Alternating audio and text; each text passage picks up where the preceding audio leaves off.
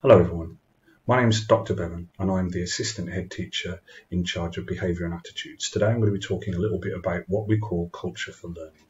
At the beginning of the school year, we will give the pupils all of the things that they need to complete their lessons here. You can see a picture on the screen of their pencil case and how it should look. Once they've been given out, it is the responsibility of the pupil to make sure they've got everything they need every day.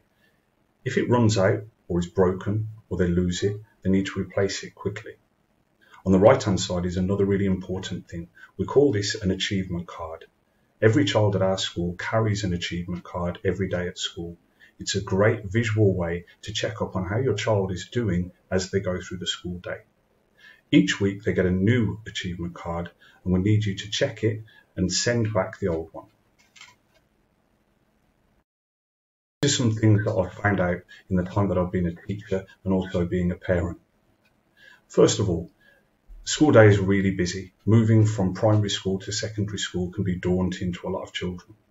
We've got a lot of things that they need to remember, so having a good routine at home is really important to your child's progress. Each weekend, try to check their uniform, make sure they've got all the things that they need.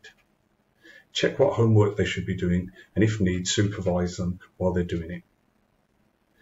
It is really important that we all spend time reading with our children. Make sure you know what your children are reading and that it's age appropriate. After school each day, it's a good idea to check in with them about what homework is going to be due the next day.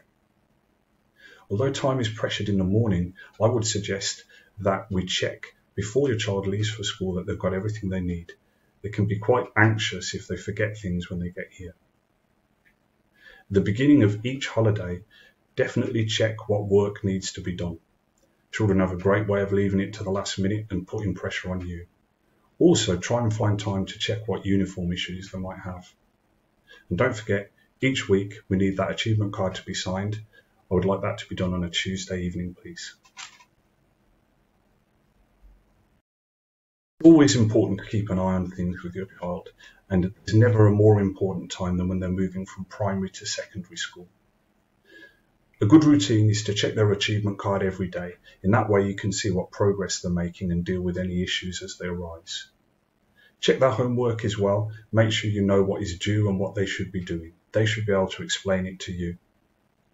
If you need any further information, then remember the school website has information on things like uniform and other pieces of useful advice. When contacting the school, I recommend that you use the inquiries email or contact the front desk via telephone. This is preferable to asking for an individual member of staff who may not be available.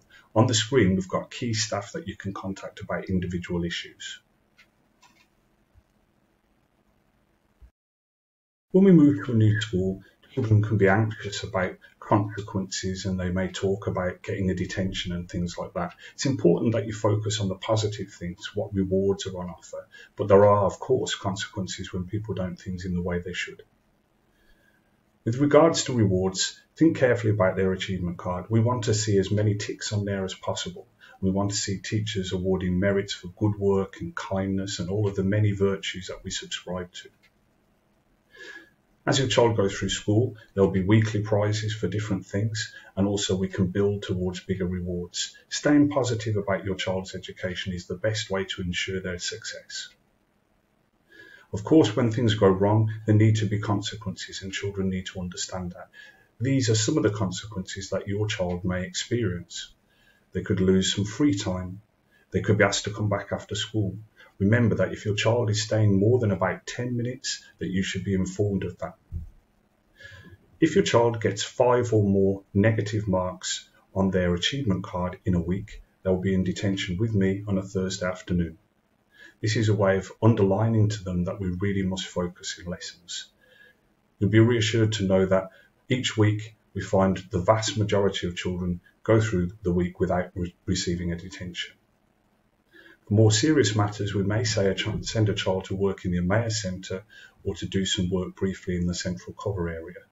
This is a way of taking them out of situations which could get worse during the day.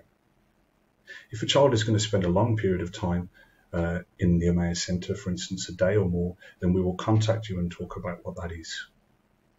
Finally, for younger children, where they are still learning about our, our boundaries and our expectations. We also have the Emmaus Centre placement.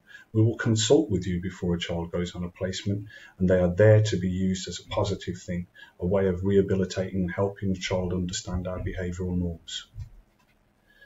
In closing, I would just say children can be quite nervous about coming to secondary school. Some aren't at all, and they're quite happy to come in. We're very much looking forward to meeting them all, and we're sure they're going to do really well here at Cardinal Wiseman.